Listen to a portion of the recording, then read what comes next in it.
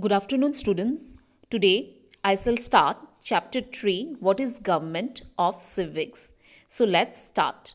Every nation needs an administration to run the nation.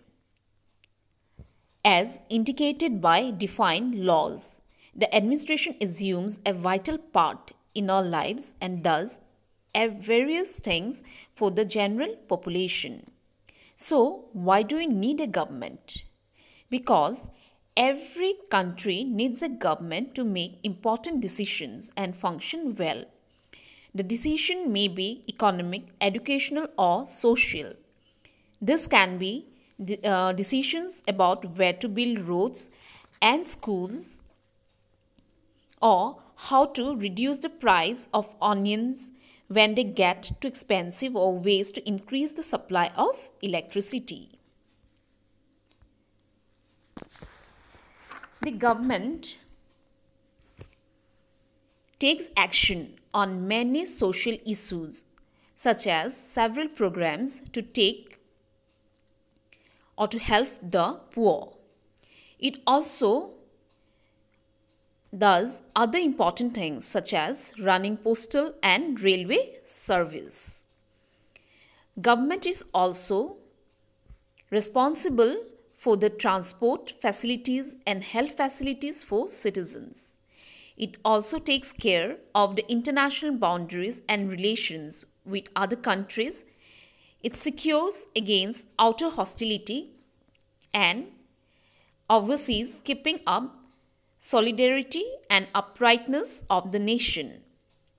Some examples of institutions that are part of the government are the Supreme Court, the Indian Railways, and Bharat Petroleum.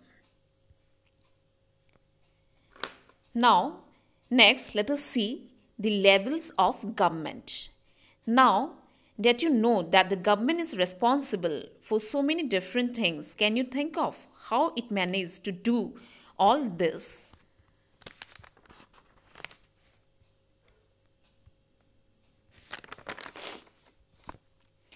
Government in any country functions at several levels and that are number 1 central, 2 state and 3 local. The government works at different levels at the local level, at the level of state and at the national level. So what is local level? So let us see what is local level. At the local level, it covers the village, town or locality. It is named as Gram Panchayat or municipality or municipal corporation. Now let us see what is state level. It covers an entire state like Haryana or Assam, etc. A state government governs its own state. So next, let us see what is national level. It decisions making covers the entire country. So these are the three levels that is central, state and local.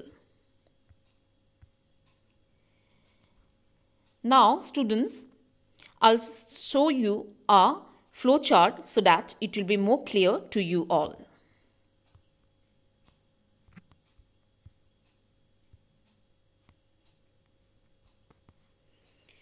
So here, this is the flow chart.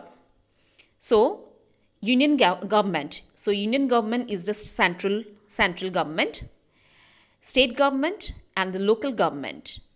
And the local government is divided into municipality and panchayat. And municipality, it has three, three parts that is municipal corporation, municipal uh, council and Nagar Panchayat. Whereas Panchayat has district Panchayat, intermediate Panchayat and village Panchayat. So students, this is all for today. Hope the topic that I have covered will be helpful for you all. So, here I conclude. Thank you.